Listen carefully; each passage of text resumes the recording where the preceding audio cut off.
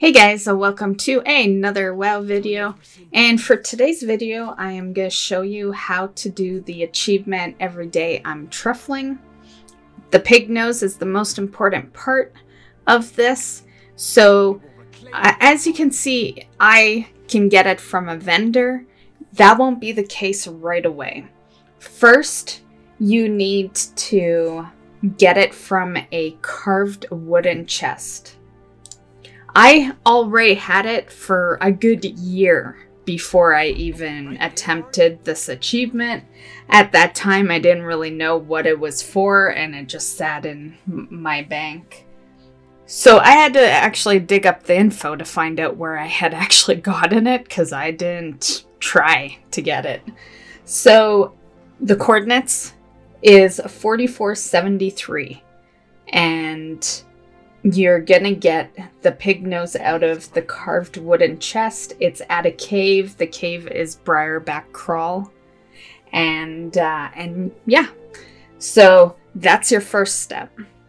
After that, if you need another pig nose, you can just buy it for 25 briarback quills, which the mobs for those are literally right outside of the vendor area.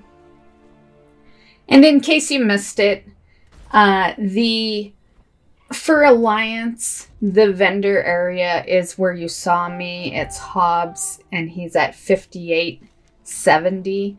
If you're on Horde, it's going to be the vendor will be Sonya, and the coordinates for Horde side is 5033. Now, once you get your pig's nose, then you're just gonna go run around and find the items. There is the magic truffle, the violet truffle, and valley truffle. There's also the turbo, but we're just focusing magic, violet, and valley right now because those are the looted items. Whereas the turbo, you just click it and yeah, it doesn't go in your bag. So the looted are the important ones. Because you're going to need to click them all together at the same time. So the pig nose buff lasts 15 minutes. So you have 15 minutes to find all the ones that you need. Um, magic truffle seemed to be the easiest. I got quite a bit of those. Now, as far as getting the achievement. I'm not totally sure if it still works this way, but when I did it, there was a lot of people making the comment of how you had to do it in a certain order. So, for all you know, you might be able to do it in any order now, but I'm gonna give you the certain order that I did it that had me proc the achievement, just so that you for sure can get the achievement. So the order you're gonna do is Violet Truffle, and then Turbo Truffle, then Valley Truffle, and then Magic Truffle. Like I said before, Magic, Violet, and Valley are items that go in your bags. Turbo Truffle will not be one that goes in your bags. This right here is the Turbo Truffle, so we are gonna use our items right now. Now, while you're out here, you may have already looted Sporonite Bomb, which is found through this exact same method with your with your pig nose. So, we can do another achievement while you're out here, and the next achievement is called Clever Use of Mechanical Explosives.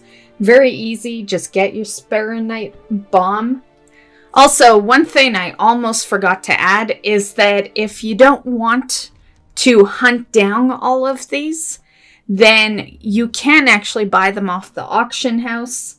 Uh, the Magic Truffle, Violet Truffle, Valley Truffle, and the Sporonite Bomb. Um, those can be bought off the auction house. The Turbo Truffle cannot because it's a click only item. But there is that option. However, do keep in mind that you are going to need the pig's nose anyway to be able to see the turbo truffle. Okay, so this one is a really easy. You're going to go to the Lichen King and he is at 5179. All you do is just engage into battle with him and then just throw the bomb at him and boom, achievement will pop instantly.